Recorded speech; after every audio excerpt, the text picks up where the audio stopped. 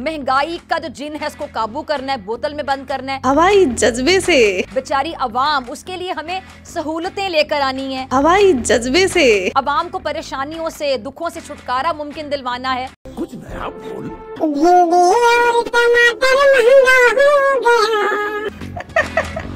ये जो कश्ती पार लगानी है हमारा तो यही सवाल है कि ये कश्ती बीच मंझदार फचाई किसने? है हमने हमने। हमने भूखे पाकिस्तान में 20 अरब रुपए का आटा घोटाला हो गया है। सब कुछ हमारे अपने ऊपर है। आजकल पाकिस्तानी एंकर न्यूज़ कम सुना रहे हैं फल सब्ज़ी और राशन ज़्यादा बेच रहे हैं। आलू पाँच रुपए किलो मिल रहे हैं। आलू मटर भिंडी लहसुन।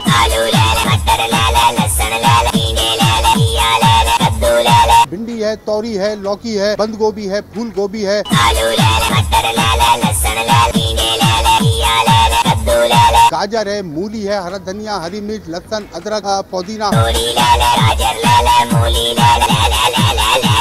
इज़्ज़त से क्या काम? बेइज्जती प्रूफ समझ लें इनको फ़र्क ही नहीं पड़ता। जिन्हें कभी भी अपनी जिल्लत महसूस ही नहीं होती अब ये समझ लें। अच्छा। प्याज की क्या कीमत है? प्याज की तीन सौ रूपए साढ़े तीन सौ रूपए पाकिस्तान में यहाँ पे आपको कुछ मंजर दिखाऊँगा। मरियम साहबा ने कहा की आवाम को आटा देंगे उनकी दहलीज पे पहुंचाएँगे। कि आपको पुलिस के साथ जाना है वरना वो एक ट्रक को रोक के उसको पूरा उस पर अटैक हो जाता है।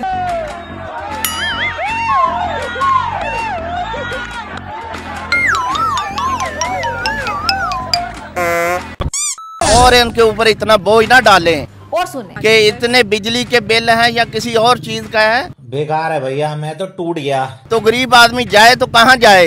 टूट गया मैं तो अब। या इन्हें यही कहें कि सबको कहें कि फ्री जहर की बोतल देते हैं सब पी लें। खत्म हो गया यार मैं तो।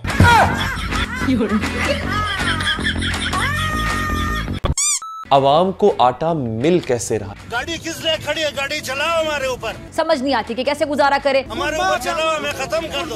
ना हम होंगे ना आटा लेने आएँगे। दुनिया भर में लोग मेहनत करके तरक्की करते हैं। अपना सोशल स्टेटस जो है वो बढ़ाते हैं। लेकिन पाकिस्तान में क्या होता है? पाकिस्तान में आम आदमी की पहली और आखिरी तरजीह आज भी क्या है?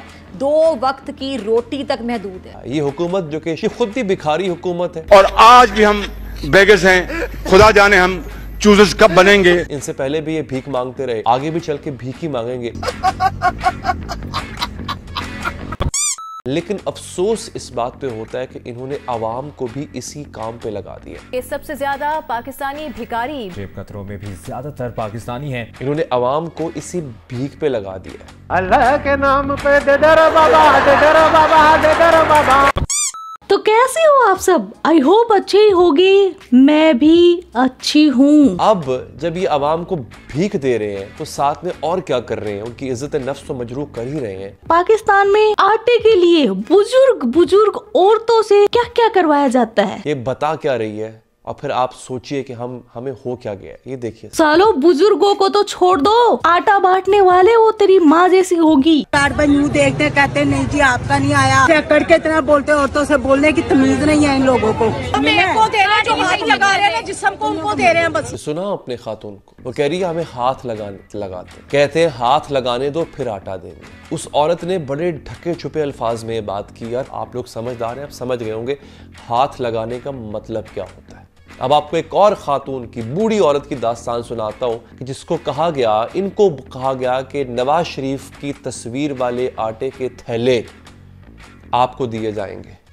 अब नवाज़ शरीफ की तस्वीर पर जब एक सहाफ़ी ने तनकीद की तो मरियम साहबा की जो रौनक थी, उनके उनके लहजे में जो रौनक थी, वो कैसे छलक के बाहर आई, वो एक वीडियो क्लिप मैं आपको दिखाता हूँ, उसमें देखिएगा कि जब सहाफ़ी ने कहा कि आप पर एतराज़ हो रहा है कि अपने वाले साहब की तस्वीर आप क्यों लगा रही हैं आटों के थैलों पे तो उनका जवाब क्या था जरा सुनिए आपकी फ़ोटो के हवाले से है। ऑपोजिशन उसको बड़ा क्रिटिसाइज कर रही है कि आप अपनी पब्लिसिटी जो है वो मियाँ साहब की आवाम के पैसों से कर रहे हैं। देखिए मेरी बात सुने। हुकूमत किसकी है पंजाब में? नून लीग। नवाज़ शरीफ। जवाब सुना आपने मरियम साहिबा का? सबको पता है कि धांधली से आए हैं फिर भी एटीट्यूड देखो भाई साहब मैडम का। एटीट्यूड एटीट्यूड फिजा जरा बताना। इतने एटीट्यूड से इतने एटीट्यूड से बात कर रही थी कि जैसे इनका पहली बात कि इनका जाती पैसा? है मरियम साहिबा अपनी जेब से, अपने पल्ले से ही आटा दे रही हैं। हजूरे वाला, हुकूमत किसकी है? नवाज़ शरीफ की तो हमें पता है, लेकिन हुजूर पैसा आवाम का है। पैसा हमारा है।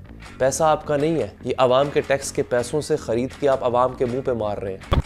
नवाज़ शरीफ साहब की फ़ोटो वाले आटे के थैले, किस तरह से एक आम पाकिस्तानी की इज़्ज़त को मजरू कर रहे हैं, ये इस बूढ़ी औरत की जुबानी सुन लीजिए। मेरे को बच्चे मेरे को पाँच बंदे हैं। जिल्लत की ज़िंदगी को जीना है या सर उठा के जीना है? जिल्लत की ज़िंदगी। इस जिल्लत की ज़िंदगी से इस जिल्लत के आटे से यकीन कीजिए मौत अच्छी लग रही है। तो मर जाओ यार फिर। ऐसा मुल्क जो कभी हमारा हिस्सा हुआ करता था उसकी कहानी उसकी दास्तान में आपको सुनाता हूँ बांग्लादेश का एक वीडियो क्लिप है नाजरीन जो कि बहुत वायरल हुआ हुआ है इस वक्त। देखे बांग्लादेश हमसे कितना आगे निकल गया और वहाँ की आवाम में शऊर है। उनमें थोड़ा सा सहूर था तभी तो वो तुमसे अलग हो गए थे।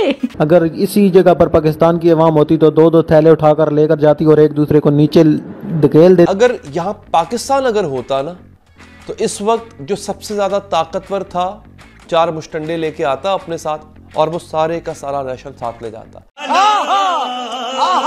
रोज़ा इसी से रखे इसी से अफ्तार करें। जो बच गया ठीक है जो ना बचा उसे वैसे दरिया बुर्द कर दें। समुंदर के अंदर दफन कर दें। खुद तो अपने महलों के अंदर भी वो कब्रस्तान बना लेते हैं। गरीब आदमी को इस कब्रस्तान में जगह नहीं मिलती। उसे बीस हज़ार क्या तीस हज़ार में कब्र देने के लिए गोरकन भी नहीं दिया। लहसन की क्या कीमत चल रही है? कीमत सात सौ रुपये किलो। लहसन सात सौ रुपया किलो। टमाटर कितने कीमत है? दो सौ रुपये किलो। दो सौ रुपया किलो है। अगर हम बात करें ये जो सब्ज़ियाँ हैं जो सीजनल सब्ज़ियाँ हैं इनकी क्या कीमत चल रही है? ये जो टिंडी है चपनी ये एक सौ बीस रुपये किलो है। बैंगन एक सौ बीस रुपये किलो है। चिकनार चार सौ रुपये किलो है। अरबी दो सौ चार सौ रुपये किलो है। ठीक है। करेले चार सौ रुपये किलो हैं। हर सब्ज़ी 200 से ऊपर ही है। हाँ जी 200 से ऊपर ही है। सबसे नीचे आलू ही है वो भी बस कोई पता नहीं कल परसों फिर कल तक आलू की कीमत भी बढ़ जाए पाकिस्तान चाहे गरीबी भूखमरी तंगहाली बदहाली नंगापनी इन चीज़ों से इतने मजबूर हो जाते हैं कि अपने बच्चों का गला घोट देते हैं और खुद आत्महत्या करने को मजबूर हैं। लेकिन आखिरी सांस तक भी ये मगरमच्छ वाले आँसू किसके लिए भाएँगे कश्मीर गजा। बस यहीं पे एक लम्हा रुक जाइएगा। यहाँ से मैं आपको आगे लेके चलूँगा। गजा के छोटे छोटे बच्चों का खुराक के लिए तरसना कैसा है? ऐसे ही किसी ने इनको जाहिल का नाम नहीं दे दिया। उसकी एक झलक देख लीजिए।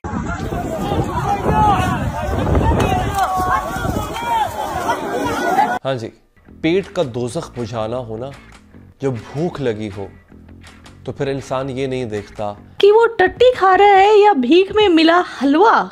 कि छोटे छोटे बच्चे किस तरह से ज़मीन से उठा के खा रहे हैं। ये मंजर आपने देख लिया। ये था आज का वीडियो और जो इनसे अलग हुआ बांग्लादेश, वो भी इनसे आगे है। तो इनके लिए शर्म से डूब मरने का मुकाम है। पाकिस्तानियों में थोड़ी गैरत होगी ना तो ये चुल्लू भर पानी में डूब के मर जाएँगे। लेकिन पाकिस्तान बेगैरत कौम है। मरेगी नहीं ये, भीख मांगेगी। तो आज का वीडियो बस इतना ही। आपके क्या थॉट्स इस वीडियो के बारे में, वो कमेंट सेक्शन में बता देना। आप अपना ख्याल रखना। Love you my kit cats